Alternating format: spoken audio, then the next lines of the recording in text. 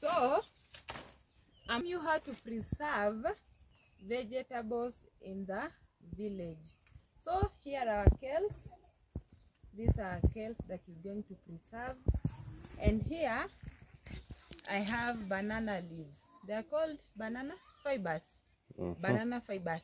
And now you see this side, the upper side is dirty and the lower side is the one which is clean. And we're going to use this side Yes, because it is clean.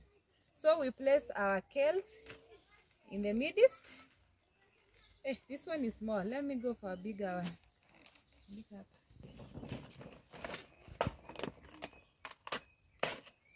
Or this one. Let me use this one. This one.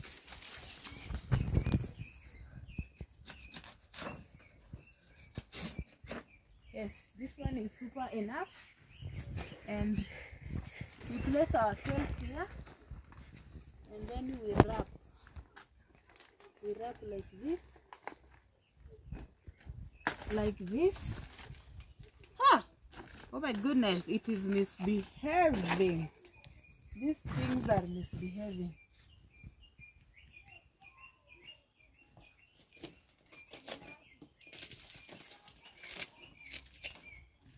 okay i think this one is perfect now you place your can here.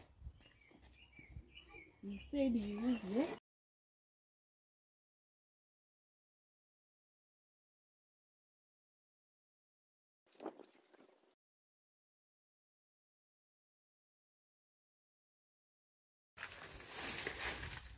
And we'll come here after a week. Oh my goodness, I'm back after one week to see the vegetables we preserved how they will be. So here they are.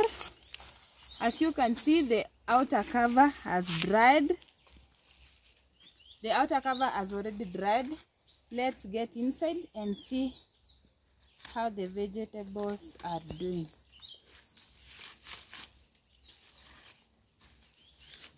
Oh my goodness! Look at this look at this. They are still fresh. Very very fresh. Very very fresh and edible. This is amazing. This is how we do it in the village. In a kenyan village this is how we preserve vegetables and i'm glad that they are still fresh